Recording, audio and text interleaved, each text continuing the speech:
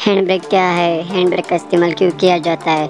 अगर आपकी गाड़ी बहुत रफ्तार से चला रहे हो आप और आपका ब्रेक ना लगे तो हैंड ब्रेक का इस्तेमाल करके गाड़ी रुका सकते हैं।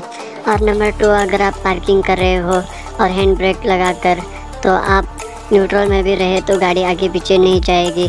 अगर वीडियो अच्छी लगी तो वीडियो को लाइक, शेयर, सब्सक्राइब ज़रूर करें। वीडियो देखने के लिए आपका धन्यवाद।